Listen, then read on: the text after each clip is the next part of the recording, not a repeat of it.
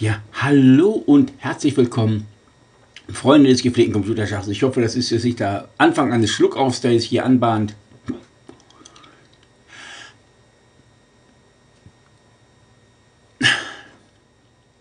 So, mal gucken, was reicht. Einmal Luft anhalten. So, ähm, seitig Corona. Level 15 Minuten 99 Züge. Interess äh, heute ist, ich habe mal bei Sanchetta nachgeguckt, wegen der Anleitung für den ähm, Companion 3, den ich mir bestellt habe. Hm, die gibt es da gar nicht, die Companion-Anleitung. Da frage ich meine Freundin mal, ob die das abscannt, dass ich das hinschicke, dass sie das mit reinnehmen in die Anleitung.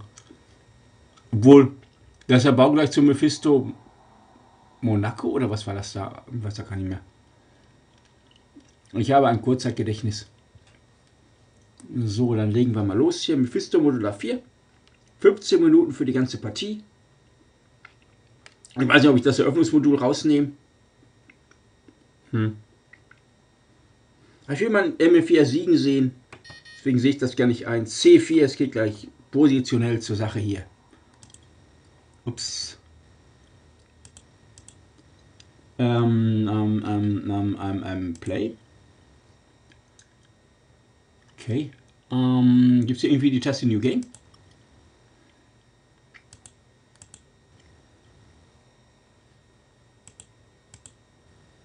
Wieso hat er jetzt diesen Level nicht mehr drin? Level C4.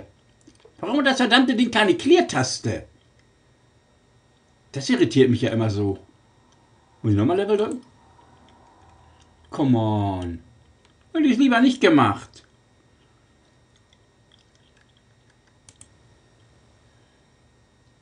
Verdammt, jetzt macht er wieder einen weißen Zug. Nochmal springe auf den hier. So muss das gehen. Einfach die. Ups. Hallo, hier Zug ausgeführt. Einfach Zug zurücknehmen. Matte im Schwarz. Oh. Das war jetzt nicht so fantastisch, dass ich das jetzt so gemacht habe. Ich will er den ziehen. D7, D5. Nein, so wird das nichts. Ich mach mal. Der macht das also auch wieder super mondial. Dieses von oben nach unten spielen, wenn er. Aber jetzt wissen wir ja, wenn wir ein New Game machen, dann müssen wir natürlich noch das Brett resetten. Das ich mag das nie, wenn ich keine Clear-Taste habe. Man muss Level drücken, dann einfach Clear. Das ist immer so blöd. So.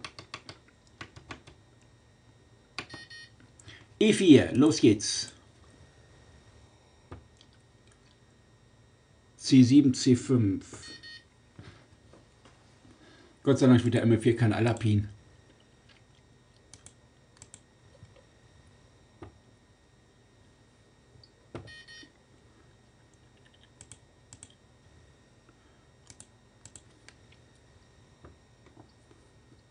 Die vier Schritte hier links sind, rechts ist meine Hand.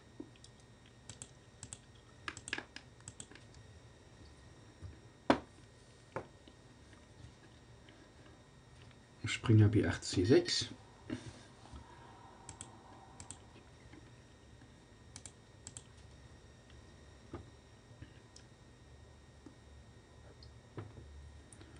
Sieht ein bisschen aus wie Scheveninger. Hat er den Level nicht mehr drin? Hä? Das ist doch angeblich, ist das doch hier. Ach, muss man wieder hier. Was? Der F1 hat keine Funktion. Aber warum hat er keine verdammt nochmal Enter-Taste oder sowas hier? Auch auf normal muss man einfach drücken. So, Läufer E3. Das finde ich ein bisschen merkwürdig, dass er dadurch im Countdown-Modus macht. Bei manchen muss man ja ähm, das einstellen. Beim, beim Explorer Pro muss man F1 drücken. Also Option F1. Hat er eine Option-Taste? Ich sehe jetzt auf Anhieb keine. Option und F1 und dann macht er Countdown-Modus. Dann bei Plus macht er Countdown-Modus, bei Minus nicht. Äh, Level G1 würde ich von abraten, diesen Easy-Mode, weil da macht er diesen, Aus diesen Fehler. Ähm, dass wenn man dann wieder auf normale Partie spielt, dass er dann meinetwegen einzügig die Dame einstellt, weil das ist dann diese Fehlerfunktion. Aber wieso macht er denn keinen Countdown-Modus? Function vielleicht? Ist Function Option? Können das dann mal gleich nachsehen. Vielleicht nicht unbedingt, wenn er im Zug ist. Da war Function F1. Könnte sein. Hm.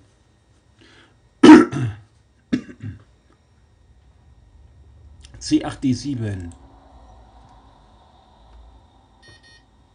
Gott, immer noch Theorie. Okay, ich möchte aber ganz kurz mal gucken über Function. Ne, nichts. Okay, vergessen was. Dann müssen wir das eben so machen. Ähm, er hat hier ähm, en, en, en Rochade.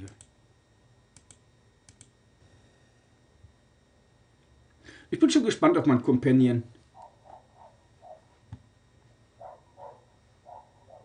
Das ist so ein bisschen, ist das vielleicht auch ähm, der Ersatz, jetzt kein, kein adäquater Ersatz, aber zumindest ein, ein, die Ersatzreserve für den ähm, Renaissance, weil es ja auch ein Seitig war.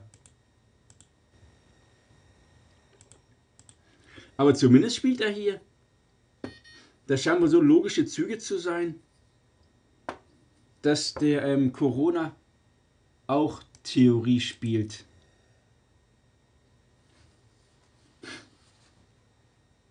So. 0,27. Dann ist das bestimmt Theorieende, wenn er, oder es war keine Theorie mehr. Na gut, wir äh, werden mit der Theorie schreiben. F8E7, das waren wohl einfach Züge, die er schnell gemacht hat. So. Ich habe den Renaissance aber so in Erinnerung, dass er blitzmäßig nicht so der Beste war unter der Sonne.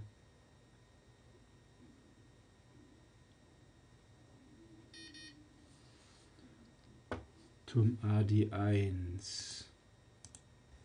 Das Eröffnungsmodul war witzig. Das war Bauer, König, Bauer, König. Dieses Endspiel, aber nur mit blockierten Bauern. Das ist egal, wo die standen, die mussten sie sich gegenüberstehen direkt. Dann war es in dieser Endspieldatenbank. Das Problem war so, war allerdings, dass da eh nie dahin gekommen ist. Das war nur so ein Gag, war das. Hm. Man müsste das mal spaßhalber erweitern. Da das ja sowieso als Endspieldatenbank erkannt wird, dass Rom irgendwie mit einem, einem Flash-Speicherteil oder sowas, das sowas dran setzen, dass er bis zu acht Steinern hat. Ich weiß gar nicht, ob damit der, der Renaissance der erste Schachcomputer war, der eine Endspieldatenbank hatte. Oder war das vorher schon? Hm. Auf jeden Fall hat er nie, das, dieses Endspiel nie erreicht. Die hätten den mal eher machen sollen. Ähm, irgendwas mit Springer Läufer. Zum Beispiel. Springer Läufermatt als Endspieldatenbank. Oder zumindest das, das schachliche Wissen dann so, oder Läufer Läufermatt. Weil ich habe das mal geguckt, der Analyst hat das nicht geschafft. Springerläufer gegen König. Was? Hilfe, Lipo, schläfst du ein? Bin ich schon. Meine Güte, das kann nicht sein hier. Dramatische Szenen spielen sich hier ab. Der hat mal früher immer die Uhr gedrückt, aufbauen. Also früher, wenn der Gegner die Puppen vom Brett geschmissen hat, da konnte man die Uhr drücken, dann musste er die auf eigene Zeit aufbauen. Wäre sonst irgendwie schwachsinnig gewesen. Wenn ich dann die Zeitnot wäre, würde ich absichtlich die Figuren vom Brett hauen. Weil Gegner in Zeitnot, ich hau dann absichtlich die Puppen vom Brett. Was Lippo natürlich nie gemacht hätte, denn Lippo, der war bekannt als der fairste Spieler auf diesem Planeten. Er hat nie mit dem König an den König rangezogen, um damit den König den König zu schlagen und so eine, so eine Scherze. Und er hat auch nie König damit falsch aufgebaut, um dann nach sechs Zügen darauf zu bestehen, dass so weitergespielt wird. Das hat er nie gemacht. Man hat mir auch den Fairnesspreis verliehen. Ähm, warum gibt er jetzt den Bauern? Wegen Turm D2 und die Dame. Die Dame ist ja nicht weg. Verstehe ich jetzt nicht. Also rechnet er nicht damit, dass er geschlagen wird, weil. Was rechnet er denn? C6, D5, E4, D5. Da muss auch irgendwas sein, dass da nicht geschlagen werden kann, der Bauer. Turm C1, Dann Dame A2, Turm C7, dann Dame B7 oder hängt einfach nur B7? Dame C2, Dame B7, dann hängt der Läufer, der muss ziehen und dann wird der Bauer gedeckt, vermutlich so. Mich irritiert das ein bisschen, dass er hier gar nicht, weil das ist ja Level 15 Minuten die ganze Partie. Dass er da gar nicht hier ähm, die Uhr andersrum laufen lässt. Aber das muss ich doch irgendwie einstellen lassen. LCD-Scroll ist wahrscheinlich was anderes. Ach doch hier. Ich hab's gefunden. Genau, jetzt zählt auch abwärts. Okay. Öffne deinen Geist. F5 schlägt. Zackos. Hm.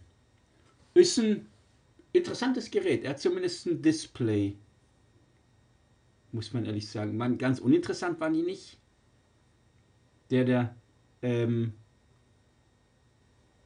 ähm, Companion, den ich mir bestellt habe, Companion 3, der hat ja kein Display. Damit ist das der zweite von mir, der keins hat. Der Kishon Chester und dieser Companion 3. Äh, ich muss natürlich das, äh, ganz kurz mal, um es zu erwähnen, F24. Dieser Modular, den ich hier stehen habe, ist natürlich nicht turniermäßig groß. Weiß ja nicht, auf welchem Bildschirm ihr das seht. Wenn das hier, das kommt vielleicht etwas größer rüber, diese Geräte, wenn ich die so in dieser Kamera habe. Weil letztens jemand meinte, er hätte gedacht, dieser Kisch und Chester wäre größer. Die haben natürlich damals nicht alle Turniergröße gehabt. Das war der, der München hatte Turniergröße. Vom Brett her hat er irgendwas gezogen oder ist da alles dran? A8, F8. Mm, Turm F2, however. Also dieser München. Und ansonsten wüsste ich gar nicht mehr, wer von diesen klassischen Schachcomputern Turniergröße hatte. Der Super-Experte, der war ja von Brett her, könnt ihr mir vorstellen, ungefähr so groß wie der Exklusiv. Der Avantgarde hatte auch keine Turniergröße. Der Sargon, der war auch recht groß. Der, wo diese Briketts reinkamen, dieser ESB oder was das war, der, wo die Schublade seitlich aufging. Wo man da diesen Brikett auf diesen, ich nehme an, so einen Anschluss war das draufgelegt hat und dann, der hatte auch Turniergröße.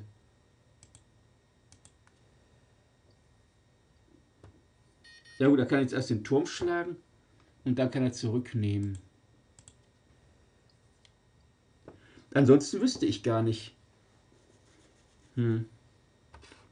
Ich meine, München, einer hat geschrieben, er hätte damals in München Lyon 32 Bit gehabt und das wäre ein Fest gewesen, den zu Hause auszupacken.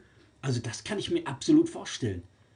Weil es ist, ich kann mich daran erinnern, wie ich damals diesen Exklusiv ausgepackt habe. Ich meine Exklusiv Polga. Weil das war auch ein richtiges Erlebnis. Da erinnere ich mich heute noch dran. Also das ist nicht direkt an das Auspacken, aber dass das so ein, so ein Erlebnis war, das Ding auszupacken. Diesen, diesen, bei München wahrscheinlich noch größer, dieser riesen Karton, den man hatte der Exklusivkarton war ja schon, war ja schon relativ, war ja schon recht groß. Ähm, aber das Problem bei München ist einfach dieses Hin- und Hertragen. Wenn man eine Stelle hat, wo man den dauerhaft hinstellt, ist das bestimmt eine super Sache. Aber ich habe mein Exklusiv ja hier stehen, da würde der München schon gar nicht mal drauf passen auf diesen Tisch.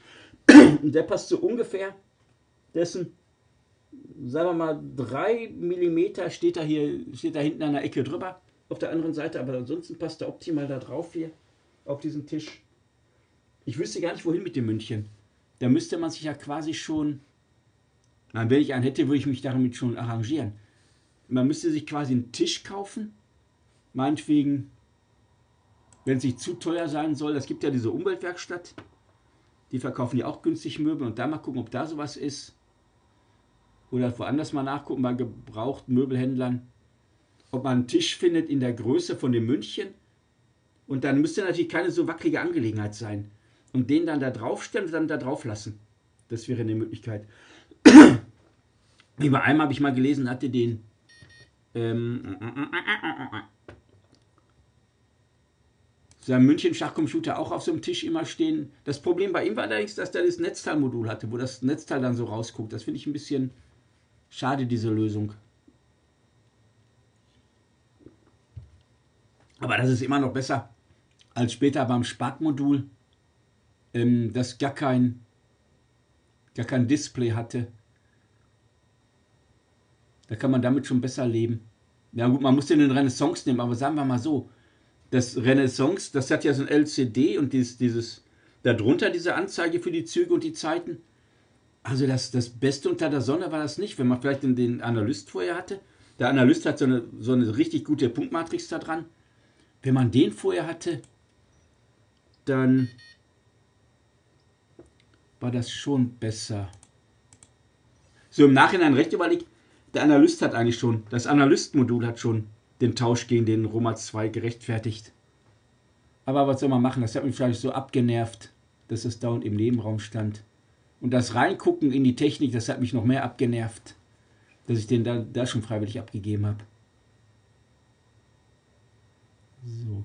Der kann ja mal schreiben, wenn er diese Videos sieht, inwieweit der wieder funktioniert, der Renaissance. Ich frage mich, ob man beim Renaissance der. Wahrscheinlich ist die Technik anders, sonst würde ich ja sagen, wahrscheinlich anders verbaut. Deswegen wird das wohl nicht gehen vom, vom Genius Pro, das LCD, weil das doch sehr an den Renaissance erinnert. Das LCD-Brett vom, vom, vom Genius Pro irgendwie da einbauen, aber ich glaube, das funktioniert wohl auch nicht. sagt er denn hier? G1, G2, 0,28. Hm. G1, G2. Und da war sogar noch das Endspiel rum dabei. Der, der Maestro, ich meine, der hat gemeint, der hätte ja auch wieder funktionsfähig gekriegt. Dieses Maestro-Modul, ich weiß aber nicht genau, dieses Maestro-Modul funktioniert auch nicht mal richtig. Aber das war auch so, so, so, so ein Brummer, das Gerät, wie so ein München. Der hat ja nicht, weiß nicht, ob der, ich glaube nicht ganz Turniergröße, weiß ich jetzt aber nicht. Die München-Figuren haben jedenfalls, die konnte ich dafür nehmen. Aber da wog auch richtig viel. Dieses Hin- und Herschleppen. Das ist schon irgendwie. Aber dafür hat man ja auch Turniergröße. Das muss man auch wieder dazu sagen. Also das muss man wissen, dass die meisten klassischen Schachcomputer keine Turniergröße haben.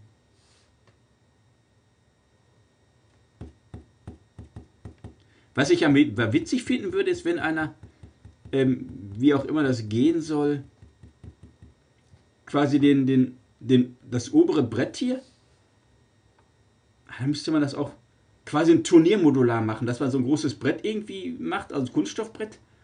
Und dann müsste das auch die Magnetsensoren drunter haben und das Brett und das quasi so draufsetzt. Und das ist Gackes wegen.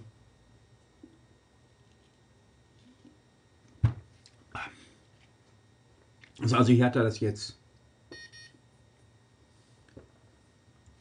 So, ähm, also die Countdown-Uhr. Alles machbar, kein Problem. So. Aber interessant, was bei Zanchetta vom, vom Companion 3 gar nicht die Anleitung da ist.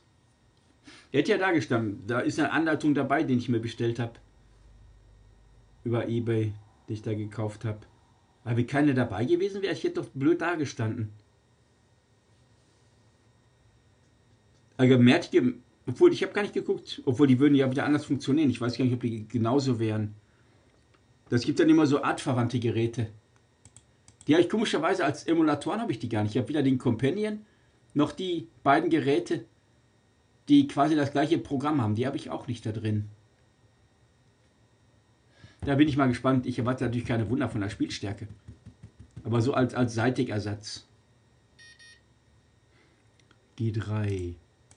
Interessant finde ich übrigens auch, dass der München sich gar nicht so viel verkauft hat. Wieder exklusiv. Ich glaube, dass so 80% Marktanteil waren die Exklusivbretter. Hm. Ich weiß nicht, ob es jetzt primär der Preisunterschied war. Gerade, ich könnte mir vorstellen, München hat sich bei den 32-Bittern verkauft, weil ob ich jetzt ähm, 4000, ich weiß gar nicht, was das jetzt genau war, sagen 4600 Mark bezahle oder ob ich jetzt 4200 Mark bezahle. Da macht es das auch nicht mehr, mehr aus. Also ich könnte mir vorstellen, wenn man sich schon meinetwegen einen, einen Portos 32-Bit holt, und dann doch schon als Münchenbrett. Weil es ja totaler Quatsch gewesen wäre, wäre Porteros 32-Bit als Modular. Weil die wollten dann schon was präsentieren. Die konnten wahrscheinlich damit Spielstärke technisch waren die nicht auf der Höhe des Gerätes, aber Hauptsache, ähm, ja gut, man wollte halt das, das, das möglichst Beste haben. Und ich frage mich, wie viele Leute sich die 68.030er gekauft haben, überhaupt dagegen zu spielen. Und wie viele davon da überhaupt dagegen eine Chance hatten. F7, E6. Ja, hier hat sich noch nichts getan, sieht remieslich aus das Ganze. Obwohl der A-Bau neigt jetzt zur Schwäche. Turm B6, dann A5, Turm A6, Läufer D8. Ja, das lässt sich noch so gerade eben zusammenhalten. Läufer D2, Turm B6. So. hm. Weißt du, dass ich die Figuren von dem, von dem Renaissance damals so hässlich fand? Mir deswegen die München-Figuren geholt habe. Weil ich wollte wohl insgeheim immer den München haben, hatte aber dann doch nur diesen Renaissance. Wenn ich aus heutiger Zeit überlege, der wäre noch traumatisierender gewesen. Ich habe die ja eh alle verkauft. Aber ich habe schon mal in den Kommentaren gelesen, dass Anna die ganzen Schachcomputer hatte und wegen der Autoversicherung die teilweise verkauft hat. Was ich natürlich ein bisschen traurig finde, wenn man für etwas, was man kontinuierlich jedes Jahr zahlen muss, ähm, Schachcomputer oder Sachen, die man sich gekauft hat, wieder verkaufen muss. Das muss ja dann bedeuten, dass man sich quasi überhoben hat an den, an den, an den Preisen und dementsprechend halt ein finanzielles Defizit hatte. Aber für sowas gerade, es ist ja, als würde ich für die Nebenkostennachzahlung einen Schachcomputer verkaufen müssen.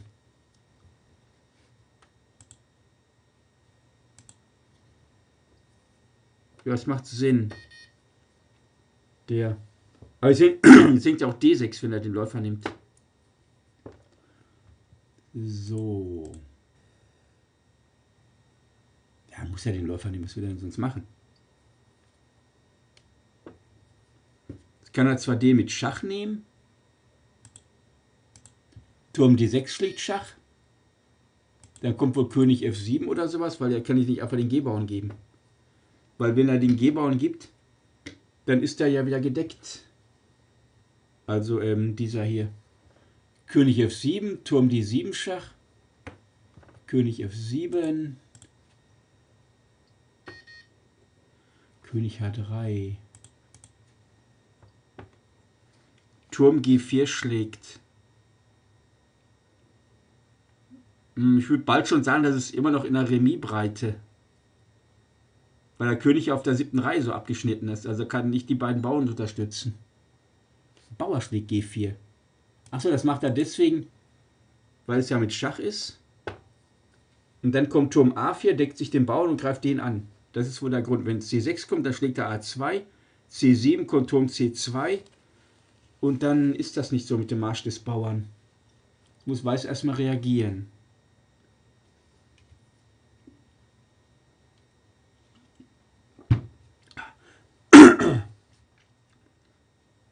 Gestern habe ich einen James Bond Abend gemacht. Erst habe ich mir angesehen ähm, Skyfall und dann den Spectre.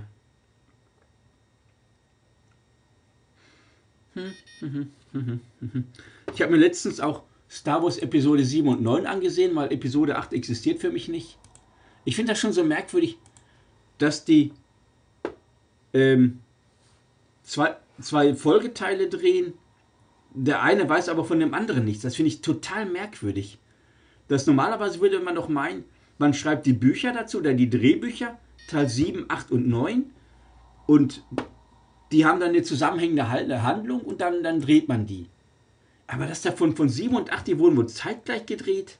Oder 8 und 9, ich weiß das gar nicht mehr. Und dann wussten die voneinander gar nichts. Oder ne, 7 und 8, glaube ich, wurden zu, zugleich gedreht. Dann wussten die voneinander gar nichts. Teil 7 Der ganze Film ist die einzige Handlung des ganzen Films ist es, wir finden Luke Skywalker. Dann suchen die Luke Skywalker, ist die Karte, um dann Luke Skywalker zu finden. Der epische Schluss, sie überreicht Luke Skywalker das Laserschwert. Und was ist dann, was er macht? Er schmeißt es weg. Deswegen ist er in Episode 9. Will sie das ja machen? Da reist er auf diese Insel, will das, das Laserschwert wegwerfen. Ähm, und dann schnappt Luke, der, der, der Jedi-Geist von Luke, schnappt das Laserschwert dann und sagt dann, man sollte respektvoll mit der Waffe eines Jedi umgehen. Also das finde ich schon sehr. Also dieser komplette siebte Teil, der achte Teil, der ist kompletter Nonsens, finde ich. Den sollte man vielleicht sogar komplett neu drehen. Den quasi, quasi ähm, ausklammern und dann einfach neu drehen, den Teil 8. Ich kann ihm auch nichts abgewinnen. Allein schon dieses Lastwagenrennen. Gut und böse. Böse verfolgt mit, dem Raumschiff, mit den Raumschiffen die Guten. Die Rebellen. Die sind ungefähr einen Tacken schneller, außer Reichweite und gerade so einen Tacken schneller, dass die nicht aufgeholt werden können. Das ist auch schon so, so ein Quatsch. Ich habe mir im Kino gesehen, da war er okay zu gucken. Oder dass die Rebellen dann um von dem Hauptschiff den, die wollen dann auf das Hauptschiff drauf, die müssen aber die Schutzschilde deaktivieren, da müssen sie so einen Hacker müssen die, müssen die ähm, dafür kontaktieren auf so einem Planeten oder äh, halt dahin zu dem. Hm. Und dann wieder zurück und dann irgendwie klappt das wohl doch nicht mit diesem Hacker. Das ist auch so total merkwürdig. Die ganze Handlung dieses Films ist so Hanebüchen. Leia wird man nach Explosion in den Weltraum rausgesaugt. Und weil die so, so Jedi-Fähigkeiten wohl hat, dann zieht die sich in dieses Schiff wieder rein. Das ist alles so ganz, ganz seltsam. Den ganzen achten Teil kannst du vergessen.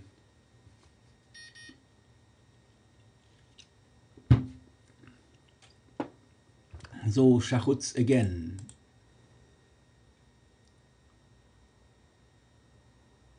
Hm, König, hm, ja wohin jetzt? König F4.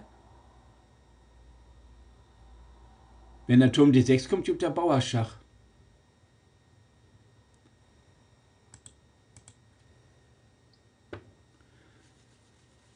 Turmschach. Vielleicht kann der Bauer ja rückwärts schlagen.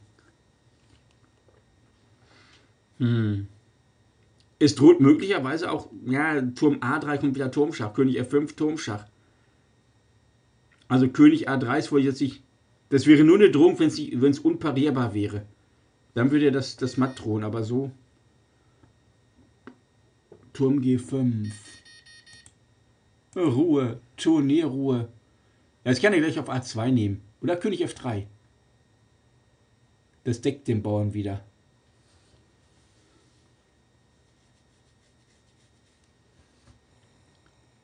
A4, A2.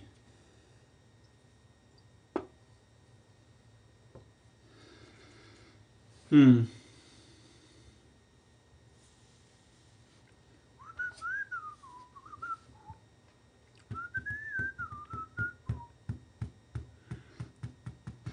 Welche Filme ich ja. Meine Güte.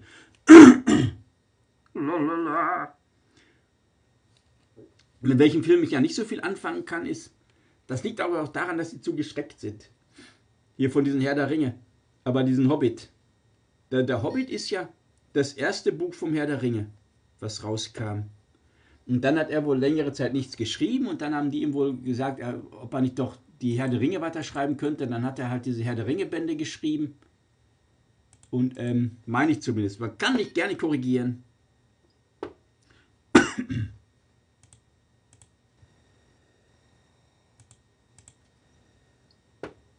Ja, der C-Bauer ist nicht ein guter Freibauer. Das wird im besten Falle wird's Remis werden. Und dann haben die aus diesem Hobbit, weil ja, man weiß ja, alle guten Dinge sind drei, es müssen immer drei Teile sein, anders geht das gar nicht anscheinend. Da mussten die aus diesem einen Buch, das war ein Kinderbuch und das war auch nicht jetzt ein riesen Wälzer mit tausend Seiten oder was, da mussten die unbedingt drei Teile draus machen und dann haben die die ganzen hanebüchenen Sachen quasi dazu erfunden und dann quasi gefühlt haben die dann immer gefühlt, wie gesagt, die, die aus der Herr der Ringe, so manche, manche Themen haben die dann in diesen, diesen, diesen, diesen Hobbit reingepackt. Und dann wirkt er da so aufgebläht. Das soll aber eine Version existieren von dem, für diesen Hobbit-Film. Quasi eine, eine umgekehrte Version zur Extended Edition. Vom Herr der Ringe. Eine gekürzte Version. Und die könnte man sich ganz gut angucken. Quasi runtergedampft auf, auf das Nötigste.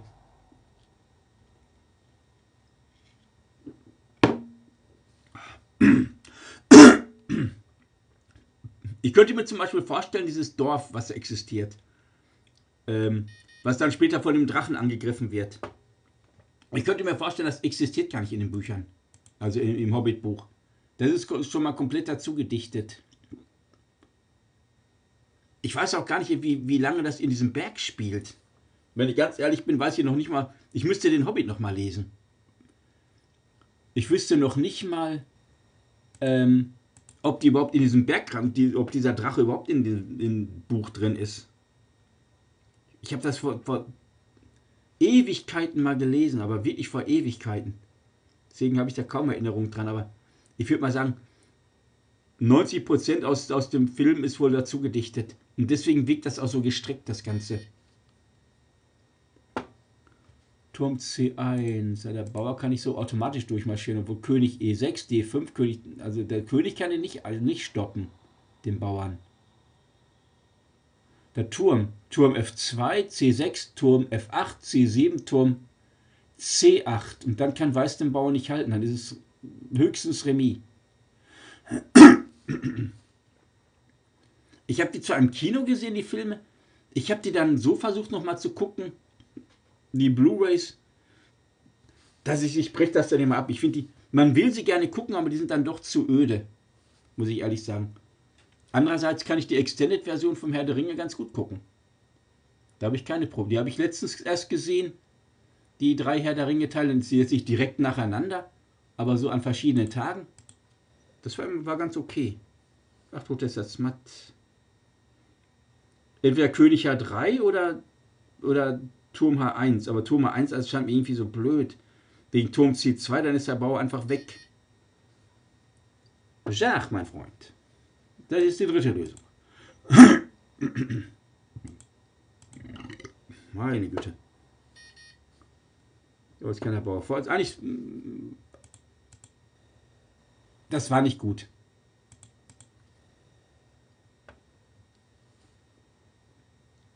Der Turm kann den Bauern jetzt nicht mal stoppen. Der hätte den gerade locker stoppen können. Turm, oder Turm, Turm, hier Turm F2 ging ja gerade. hätte er jetzt in dieser Stelle Turm F8. Der Bauer zieht fort, Turm C8. Der König zieht dran, holt sich den Bauern ab. Ganz easy Remis. Aber dieses, dieser dilettante Versuch dieses, des Mattsetzens, der verliert jetzt sogar. Ja gut, es sei denn, der König müsste ja, um aus den Schachs rauszukommen, sehr, sehr nah ran. Und dann könnte vielleicht der Gebauer marschieren. Dann ist es vielleicht doch noch Remis. Dass der Turm jetzt seine Schachs gibt, er muss ja Schachs geben. Und sobald der König weggeht, aber da, zwei Züge ist der Bauer durch. Ja. Meine Güte, jetzt, jetzt los.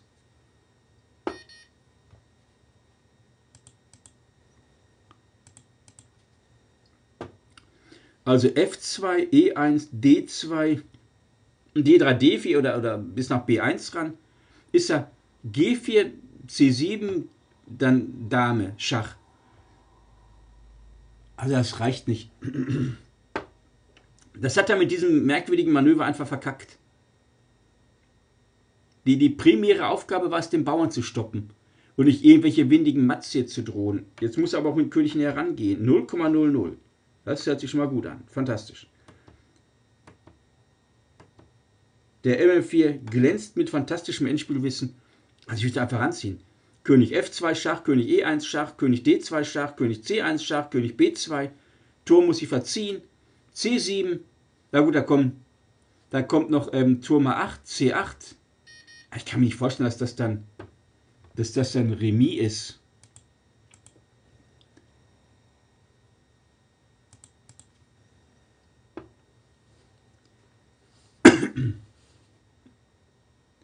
Das sind es gibt auch so Filme, die ich nicht mag. Aber ich fand sie eben okay. wenn man das als Märchen ansieht, das Ganze als, als Weltraummärchen, man sollte jetzt nur nicht dahergehen und irgendwelche physikalischen ähm, ähm, ähm, Gegebenheiten da. Ähm, das ist auch Quatsch. Jetzt macht er einfach den Bau noch einen vor. Irgendwelche physikalischen Gegebenheiten analysieren, um dann zu sagen, das geht aber physikalisch nicht. Das ist ja irgendwie schon Hanebüchen.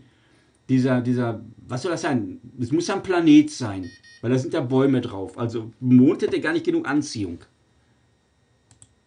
Und haben die jetzt diesen Planeten genommen zu einem, zu dem, ähm, es ist ja nicht der Todesstern, sondern der hieß irgendwie anders. Auf jeden Fall zu, zu einer Art Todesstern umfunktioniert, der sowieso schon um diese Sonne kreiste und dann haben die ähm, damit dann den, den Saft der Sonne angezogen. Man weiß jetzt auch nicht, wie groß diese Sonne da ist. Um die auch diese Planeten kreisen, also ein ganz kleines Ding kann es auch nicht sein, weil ähm, man sieht ja von diesem anderen Planeten, sieht man ja, wie dieser, dieser, ich weiß, ich weiß den Namen nicht mehr, dieser, dieser Todesstern in, in Mondform, Starkiller Base oder sowas, ähm, diesen anderen Planeten da platt macht. Das kann man ja von, von diesem Planeten aus sehen. Alleine schon, wenn man so schon überlegen würde, die Planeten müssen ja, entweder es ist die kleine Sonne und ähm, diese habitable Zone ist näher an den Planeten dran. Aber wie kann es da sein, dass dann, dass dann zwei Planeten mindestens diese Zone haben müssen? Und die Star, das wurde erst gebaut, diese Starkiller Base. Die kann aber auch durch die Gegend fliegen. ähm, weil es wäre Quatsch. So eine Starkiller Base, da, da ist dieser Planet mit diesen Leuten. Und da bauen die diesen Mond um zu dieser Starkiller Base. Da muss ja auch richtig dauern an Zeit. Obwohl, so, ja, weiß ja nicht, wie das gibt. Also, ja, ist ja Märchen. Hm. Dann saugt da diese Sonne aus die dann quasi weg ist, weil die meinen ja, ja, das ist, man hätte so lange Zeit, bis es dunkel wird. Also das ist natürlich alles nur Märchencharakter, dieses ganze Zeugs. Deswegen sollte man es auch nicht zu sehr auf die Goldwaage legen, die ganzen Sachen. Das ist ungefähr so wie diese Agentenfilme. Ja, jetzt verkackt. Das war Remy. Ähm, wie diese Agentenfilme. Das gibt auch kein, kein dieses, wenn ich schieße und immer plopp, plopp. Diese Schalldämpfer, das gibt es ja gar nicht. Das ist ja, diese Schalldämpfer sind ja nur, damit diesen, diesen Special-Kommandos, wenn die ähm, alle, alle schießen, dass dir nicht die Trommelfelder platzen, wenn die alle wild rumschießen. Das ist der einzige Grund dieser Schalldämpfer. Das ist aber nicht, damit die dieses Plop-Geräusch machen. Das, das gibt es nicht. Da müsste man quasi schon mit, mit, mit Pfeilen schießen. Quasi Druckluft und da sind so eine, so eine kleinen, kleinen Pfeile drin, die abgeschossen werden. Da müsste man schon sowas machen. Dann wird es wirklich so lautlos sein. Aber so ähm, quasi, dass das den Überschallknall da der Kugel ähm, überbrückt. Dass der quasi in diesem Schalldämpfer stattfindet und deswegen lautlos ist, das existiert gar nicht.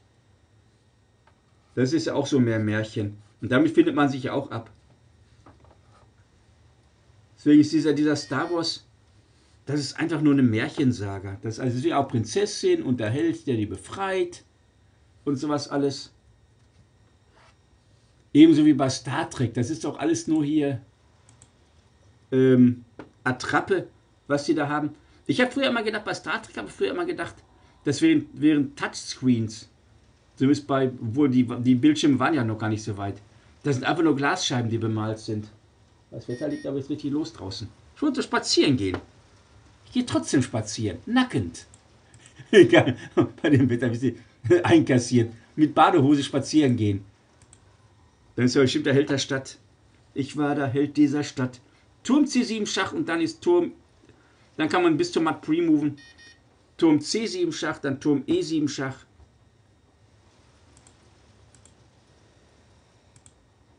Jetzt Turm E7 Schach. Das hat er verkackt, muss man ehrlich sagen. Das hat der, der Corona nicht verloren, das hat er verkackt.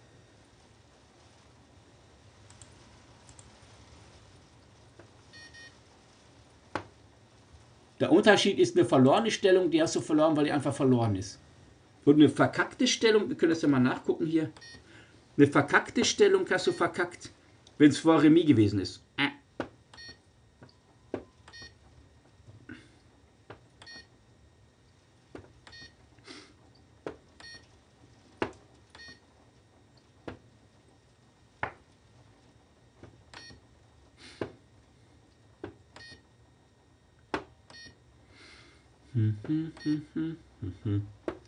Sekunde, es kann nicht mehr lange dauern. Dann zeige ich mal, was ich meinte. Dass das klare Mi war.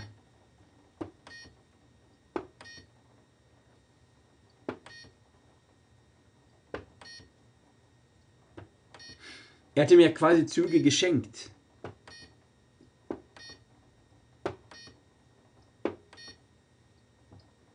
Was ist denn hier?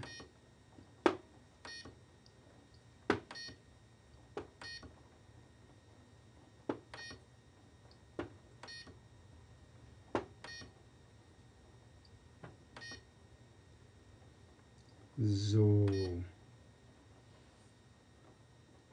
Ähm, glaube, hier hat er schon verkackt. Wohl König E5 geht ja noch. Dieses König E5, dann kommt hier Turm hier hin. Und der verkackt das einfach. Deswegen ähm, auf Clear. Dieser König F4 verkackt Man, er spielt auch das primitive Matt. Das klappt aber nicht, deswegen würde ich mal sagen, man sollte hier doch schon machen hier zum Beispiel den. Weil das ist dann klar Remis. Der Bauer zieht zwar nach C6 fort, König äh, Turm F8, da kommt C7, Turm C8. Und dann schlägt er wohl diesen Bauern. Obwohl hier der, dann zieht er natürlich erstmal ran hier. Das, der König steht einfach zu schlecht. Das ist das Problem eher. Meine Güte. Bei all der Herrlich-Kröcherei ist doch gar nicht viel dabei. Meine Güte, da ist durch Singen und Lachen und Tanzen.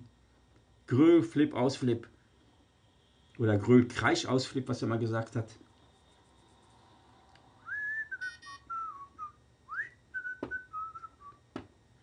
Gestern habe ich mal Moss gespielt. Das ist so ein VR-Spiel. Das ist für so ein ähm, Diorama hat man vor sich.